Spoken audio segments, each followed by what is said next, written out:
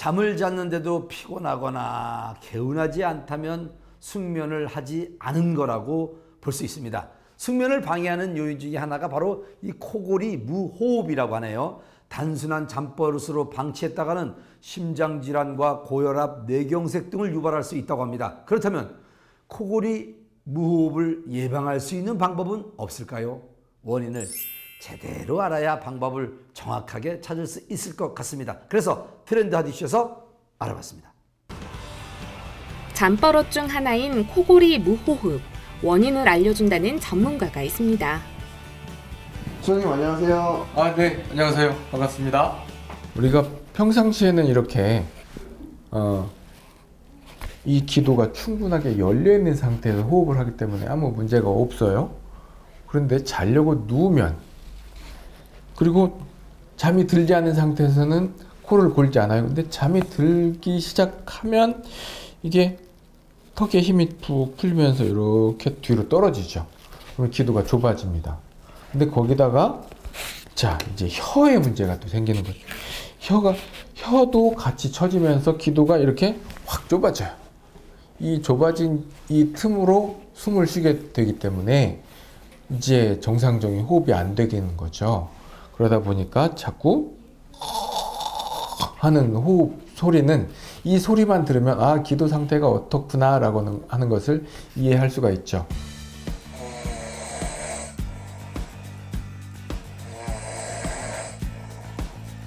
기도가 확 좁아져 가지고 숨이 굉장히 힘들게 들어간 소리 있잖아요. 이렇게 평상시에 숨 쉬려면 얼마나 힘들겠어요. 이러한 코골이 무호흡 증상들을 방치하면 건강을 위협하고 생명에 지장을 줄 수 있다고요. 호흡이 곤란하다는 것은 내 몸 안에 산소가 제대로 공급이 안 된다는 상황이잖아요. 어, 산소 공급이 제대로 안 되면 가장 기본적으로 어, 뇌, 심장, 혈관에 어, 어떤 문제들이 나타나기 시작하죠. 그게 어, 뭐 하루 이틀 뭐 그런 거라면 큰 문제가 아닐 수 있겠지만 이게 수년간 또는 수십 년간 지속적으로 그런 상태가 누적이 됐을 때 어, 굉장히 큰 데미지가 일어날 수가 있는 거죠. 그래서 어, 의학적인 그런 연구 자료를 보면 무호흡증 환자의 심장 질환, 혈관 질환, 뇌 질환들이 굉장히 그 유병률이 높거든요. 보통 코골이, 무호흡 증상을 가진 분들은 공기를 주입하는 인공호흡기인 양압기를 처방받는데요. 사용감이 불편하고 기계호흡에 적응하기 힘들답니다. 어떤 사람은 정말 간단한 도구로도 확 좋아진 사람이 있고 아주 복합적인 영, 어, 문제라면 그런 것들을 다 원인에 따라서 하나하나를 다 해결해 주다 보니까 어떤 사람은 복잡해지기도 어떤 사람은 되게 단순해지기도 하고 그래서 그런 개인 맞춤형 솔루션을 제공해 주는 어, 회사라고 볼 수 있죠. 네. 치기공과 대체의학을 전공한 황청풍 소장. 그간의 노하우를 살려 구강삽입형 기도 확장기를 개발하게 됐는데요. 그동안에 저도 이제 연구하느라고 이제 이런 저에게 맞는 장치를 계속 많이 만들어 봤는데 이제는 저도 어, 쓰는 날이 점점 많아지고 있어요. 그래서 보면 제가 한번 착용을 해 볼게요. 자, 이건 위에다 이렇게 낍니다.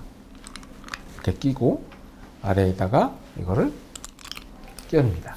자, 이 상태로 그냥 자는 거예요. 그러면 턱의 위치가 이렇게 바뀌었죠. 평상시보다 이제 턱이 살짝 앞으로 나온 상태고 자는 동안에 이게 뒤로 넘어가잖아요.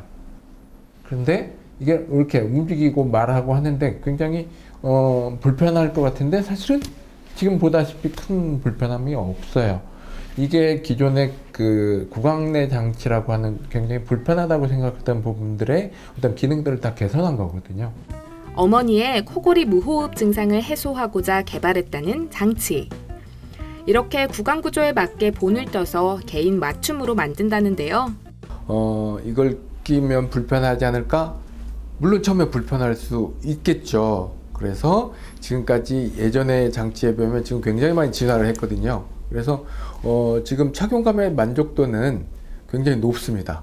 거의 뭐 100% 가까울 정도로 어, 착용감에 대한 만족도도 있고요. 그다음에 효과 부분도 이거를 어, 원인에 따라서 어, 그 문제를 해결하다 보니까 당연히 효과 부분에서도 충분한 만족을 어, 가져오고 있는 게 지금 저희가 주력하는 방향입니다. 특허, 실용신안, 디자인 등록이 제품에 도입되며 뜨거운 관심을 받고 있습니다. 중요한 것은 직접 사용해본 사용자들의 반응이 매우 좋다는 것인데요. 직접 찾아오시는 방법도 있고 어, 저희와 연계된 병원에서 처방을 받아서 오시는 방법도 있습니다. 그렇지만 이건 개인용 의료이기 때문에 꼭 처방이 있어야 된다는 건 없거든요. 그래서 내가 양압기도 해보고 수술도 해봤는데 내 효과가 못 본다, 효과가 없다. 그럴 경우에는 그냥 찾아오셔도 되고요. 어차피 이게 건강보험이 아직 안 되기 때문에 그렇게 뭐 병원에 반드시 처방을 받아야 될 어, 필요는 없습니다. 코골이 무호흡 증상 개선에 더 나은 효과를 내기 위한 연구는 현재도 진행 중입니다. 그 결과물로 베개를 만들었다고요? 어, 사람마다 다 뒤통수, 목 길이, 두께 모든 어, 모양들이 다 다르잖아요. 어, 그래서 어, 이런 작은 차이로도 호흡이 달라지고 어, 목의 불편함 또는 편한 정도가 아주 요만큼의 차이로도 달라진다는 것을 알게 됐죠. 그래서 어, 그 사람에게 최대한 맞출 수 있는 베개를 개발을 하게 된 거죠. 수면 중 숨을 잘 쉬게 돕는 개인 맞춤 기구.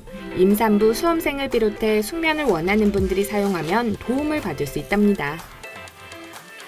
이 3D 프린팅을 어, 작업에 도입해서 좀더 어, 심플하게 해서 결국 궁극적으로 단가를 떨어뜨려서 좀 더 많은 사람들이 사용할 수 있게끔 하는 게 이제 저희 이제 목표고요.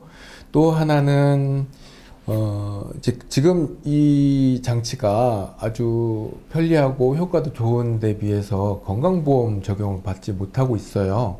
음, 그래서 궁극적으로 건강보험에 적용을 받을 수 있게 하는 게 저희 또 하나의 목표입니다. 그래서 좀 더 많은 사람들이 편안한 숙면을 할 수 있는 그런 어, 기회를 제공하고 싶은 게 저희 바람입니다. 잠이 보약이다 라는 말 알고 있으시죠? 숙면을 방해하는 코골이 무호흡 증상. 개인 맞춤 구강 삽입형 기도 확장기로 극복하고 꿀잠에 빠져보시면 어떨까요?